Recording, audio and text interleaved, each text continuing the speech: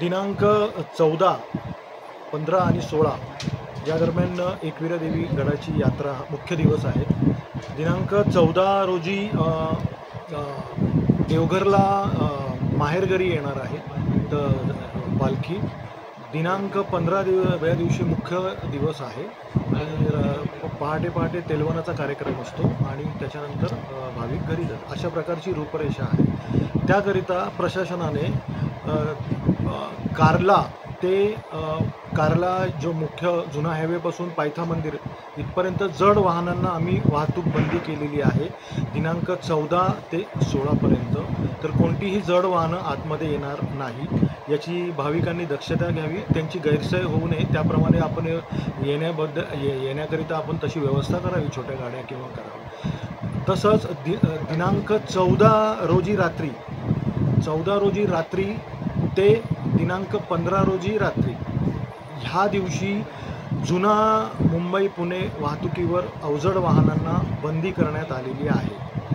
ह्या वेळेमध्ये म्हणजे चौदाला रात्री बारा ऑनवर्ड्स ते पंधराला रात्री जु जुनी जी वा जड वाहनं आहेत ती वडगाव ते वडगाववरून जी लोणावळ्याला येणार आहेत ती एक्सप्रेस हायवेने जातील.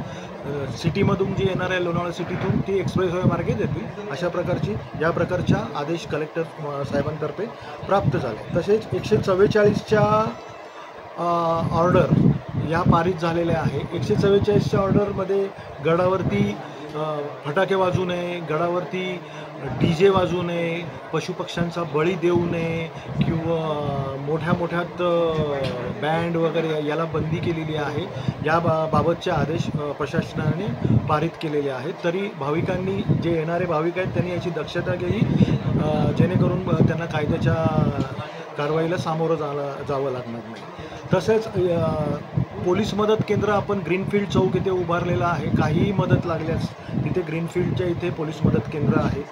तसंच आपण पी ए सिस्टीम जागोजागी लावलेल्या आहेत. जेणेकरून लो भाविकांना मार्गदर्शन होईल की बाबा जिथे राहुट्या लावलेल्या आहेत की बाबा कसं एक्झिट आहे.